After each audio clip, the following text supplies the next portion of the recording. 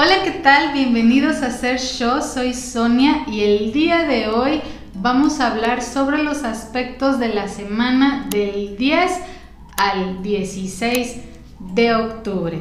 Y pues bueno, esta semana no tendrá aspectos tan importantes, pero sí tendrá uno que otro que nos puede ayudar a mejorar nuestra vida. Y empezamos por el día de hoy, domingo 10 de octubre este día arranca directo Saturno, que ha estado retrógrado desde el 23 de mayo. Es, arrancará directo el día de hoy por fin. ¿Esto qué quiere decir o a qué nos ayuda? Bueno, que Saturno es el dios del orden, de la disciplina y el hecho de que haya estado echándose hacia atrás hace o hacía que perdiéramos un poquito las ganas o la disciplina de hacer cosas en nuestra vida. Y pues bueno, si hoy arranca directo, es un excelente momento para qué? Para que retomes la disciplina, retomes si dejaste de hacer ejercicio, es un buen momento para que lo retomes y mantengas ese ritmo ya que el Saturno ayudará a sentirte con la energía, con la fuerza, con las ganas, la disciplina para poder empezar de nuevo y ahora sí continuar lo que dejaste desde mayo.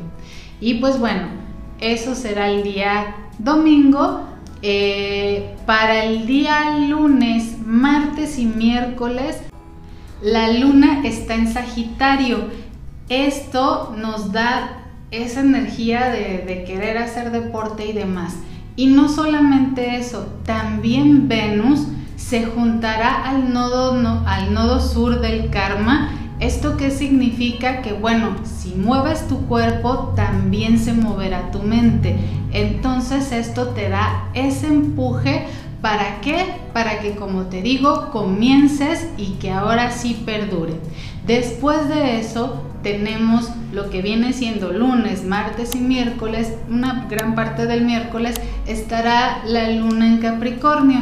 Aquí ya las cosas nos siguen ayudando para mantener un ritmo de disciplina, de enfoque y de poder organizarnos para lo que queremos lograr. Para esto también tenemos la luna que va creciendo y que para el día martes ya estará en su etapa de creciente, ayudándonos a que sigamos manteniendo ese ritmo y a la vez lo que hayamos emprendido el domingo y demás nos ayude a que crezca y pueda dar los frutos que buscamos.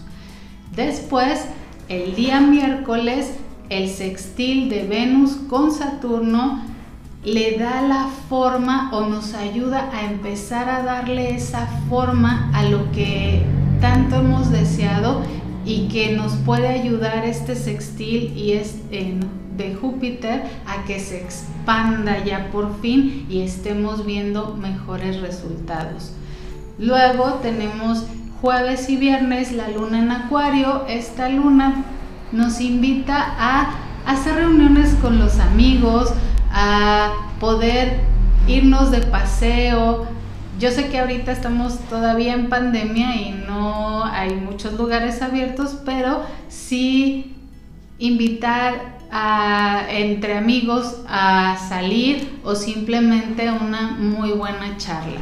Después el sábado pasa la luna Pisces y pues bueno, yo sé que es sábado y a veces muchos se quieren ir de reventón, pero esta luna nos invita más a quedarnos en casa, a quedarnos con las personas que amamos, con la familia, sí, la pareja, ver películas, qué sé yo, o simplemente tener una buena conversación en familia, enterarnos y ponernos al día de los chismes o de cualquier situación, pero sí nos invita a quedarnos más un poco tranquilos o tener cenas románticas, todo lo que sea y lleve a algo un poco más tranquilo. Las lunas en Pisces también muchas veces hacen que se te pasen las copas. Si tú estás acostumbrado a tomar eh, cinco shots y no pasa nada, créeme que con esta luna en Pisces, con tres serán suficientes, si no es que menos, y te puede dar una cruda algo fuerte. ¿Por qué? Porque Pisces siempre expande eh, el que se te suba más rápido el alcohol. Así que no abuses de él, solo ten cuidado y disfruta de tu fin de semana. Nos vemos, espero que te haya gustado la información. No olvides darle like, compartirlo y suscribirte. Y pues bueno, nos vemos hasta la próxima.